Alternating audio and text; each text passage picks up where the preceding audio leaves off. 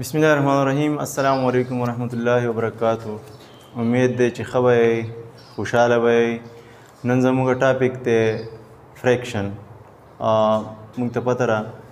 کې دي چې تاسو ته پته چې فریکشن چې دی د دې معنی ده کسر او کسر ویل شي پارټس ته یعنی حصو ته یعنی موږ افریکشن سمپلی ټیلز اس هاو مینی پارټس اف ا هول وی هیو د فریکشن چې دا موږ ته دا ښیي چې په یو سیس کې څومره حصې دي نو دا د فریکشن ساده یو ډیفینیشن شو ښه فریکشن چې دی فریکشن اوس مونږ پارټس به څنګه پارټس نه مطلب څه دی نو دې ته وګورئ دا زموږ سره یو روغ سیز دی بیا په منځ باندې دوه شوی دی دا یوه یې سره دا یې بله یې سره ده یو شیرډ حصه ده سایهداره حصه چې ورته وایي او دا بله ساده حصه ده نو دې ته وایي ایک بټه دو مطلب یو سیس چې دی هغه په دوه باندې په دوه حصو کې تقسیم شوی دی دې مطلب دې چې مونږ کېدای شي چې پرس کدا یو روټۍ ده او په دوه حصو کې تقسیم کړی شوی ده یا یو روغ کیک ته او په دوه حصو کې تقسیم کړی دی نو دې ته د هر یوې نیمې نیمې حصې ته ایک بټه دو وایي دغه شان دا زموږ یو بل دغه شیپ دی یو شکل دی یو سرکل دی دا په فور ایکول پارټس کې تقسیم شوی دی او په دې کې یو پارټ چې دی هغه شیډ دی او دا درې چې دی دا ان شیډ دی نو دې ته مونږ څه ویلی شو د څلور ایسي دي نو په څلورو کې یوه یعنی ایک بټه چار دې ته مونږ ون کوارټر هم ویلی شو ښه دې ته وګورئ دا هم یو سرکل دی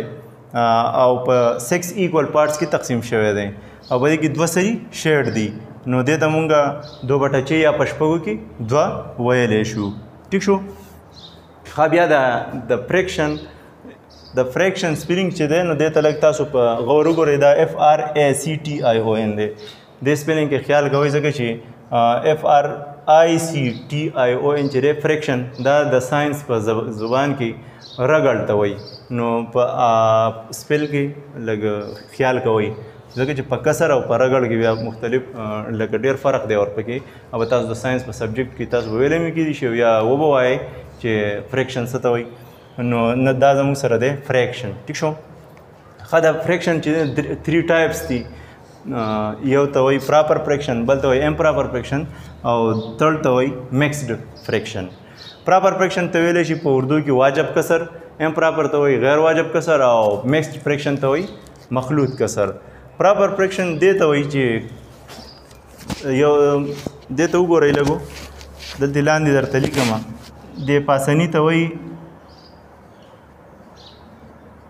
نومریټر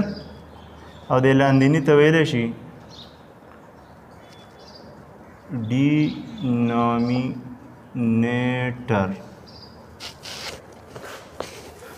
دا پرې منځ کې چې تاسو ته دا سلیش ښکاري دې ته بټه وایي ایک بټه دو او د بټې د پاسه چې دا کومه انسه تاسو ته ښکاري دې ته وایي نومریټر او د بټې نه لاندې چې کومه انسه تاسو ته ښکاري دې ته وایي ډي نومینیټر په اردو کې مونږ دې ته ویلی شو شمار کننده او د لاندینی ته مونږ وایو مخرج چې دا هم ستاسو په ذهن کې وي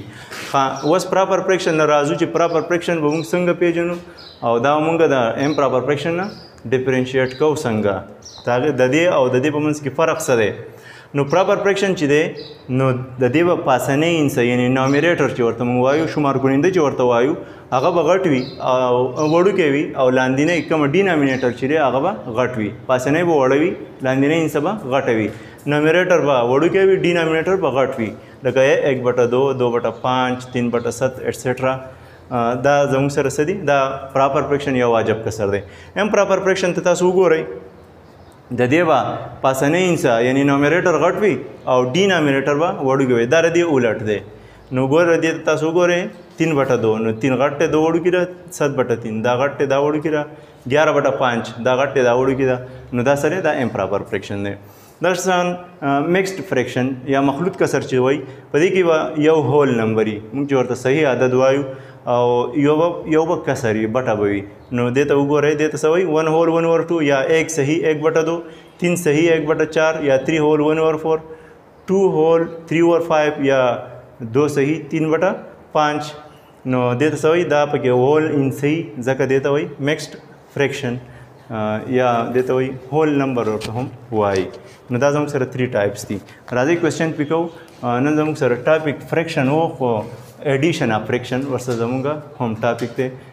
یعنی کسرونه به جمع کو څنګه خا په دې کې بیا د کسرونو جمع چې دا هغه اسانه ده انتهایی په دوه قسمه ده یو چې د پای کې سیم ډینامینیټرز ده او یو د ډیفرنٹ ډینامینیټرز ده سیم ډینامینیټرز ول اډیشن چې دا هغه انتهایی اسان دی څنګه اسان دی ته وګورئ دا لایک فریکشنز دي دې ته موږ لایک فریکشن هم ویلی شو ځکه چې په دې کې مخرجونه چې دي یا ډینامینیټرز چې دي هغه هم یو شان دي کې دي نو دې ته وګورئ تاسو 5 او 5 دا دواړه سری سیم ډینامینیټرز دي مطلب دې ته موږ لایک فریکشنز هم ویلی شو او چې کله ان دې ته وګورئ تاسو د دې ډینامینیټرز چې دي هغه یو شان نه دي نو دې ته موږ ان لایک فریکشن ویلی شو نو د لایک فریکشنز جمع به موږ څنګه کوو ګورې ورته د دې فایف او د فایف نه به یو کامن نه واخلو یعنی مشترک به تیرا واخلو او دغه به ولیکو غټه بټه به وباسو او د دې لاندې به ولیکو ټیک شو دا دا شمار کونینده یا دا نومریټر چې دی دا به راواخلو پر خپل ځای کې به ولیکو دا پلس په خپل ځای کې ولیکو دا 7 راواخلو په خپل ځای کې به ولیکو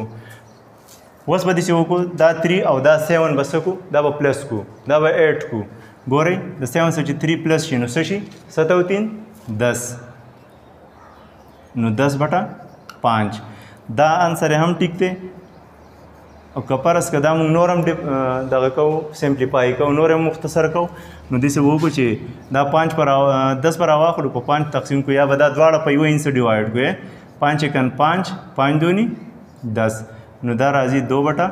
ایک ایک څوک نه لیکي لاندې نو دوی سمپل انسر امید دی چې په دې پوه شوي اوس دې کوېسچن نه راځو دا اوس ان لایک فریکشن دی ځکه چې په دې کې یو سکس دی یو تری دی دې ته ګوري او هول نمبر یعنی مکس فریکشن دی دې ته ګوري مکس فریکشن نه به امپراپر فریکشن څنګه جوړو د هول انسی لبا د هول نمبر لبا په دې ډینامینیټر کې ضرب ورکو او دا نومریټر چې دا ور سره جمع کو نو ضرب ورکې 2 چکی 12 12 او 1 13 نو ترټین ور سکس پلس په خپل ځګي د هول ان سی لبا هول نمبر لبا په ډینامینیټر کې ضرب نامیریټر ور سره جمع نو تین تینی نو نو جمع دو نو څه شي ګیاره بټه تین اوس به داسې وکړو چې د سکس او د تری به په رب ځای کې السیم واخلو نو دې به موږ غټه بټه وباسو دا رب ځای کې فرض که زموږ سره دا رب زګی دی زموږ سره نو د 6 او د 3 LCM به واخلو مونږه په څه باندې کیږي په 3 دواړه کیږي نو ګورې ورته 3 دونه چې او 3 کن 3 دا دواړه څه دي ای خو نه مفرد دی نه مرکب دی خو ټو زموږ سره مفرد دی مطلب نور تقسیمول ته ضرورت نشته نو دې له په دې کې ضرور کړو نو دوه تینه چې چې سره غي چې زموږ سره ال سی ام راغی اوس به دا ال سی ام راواخلو د فریکشن لمن پکې ضرب ورکو د فریکشن لمن یعنی د کسر لمن پکې ضرب ورکو د کسر لمن پکې هم ضرب ورکو ګوره 13 اوور 6 ملټیپلایډ بای 6 او 11 اوور 3 ملټیپلایډ بای 6 د ال سی ام لبه موږ پر دواړو کسرونو کې پر ابزه کې ضرب ورکو پوه شوي په خبره دا ګورئ 6 بر 6 سره سشي کټ شي 6 سکند 6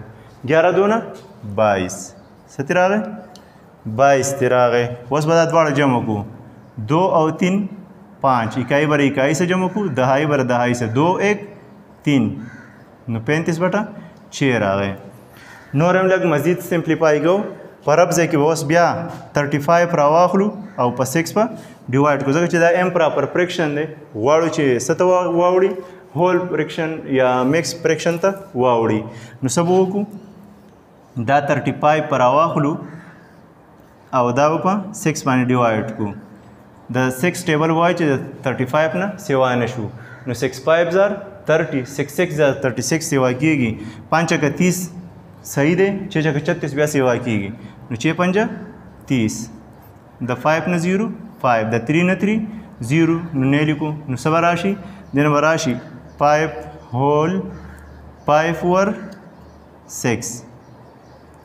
نو دا زموږ څه انسر شو دا 5 چې دلته چې کوم په کوشن کې زموږ سره راشي هغه د هول ان سي هغه دی خو علیکم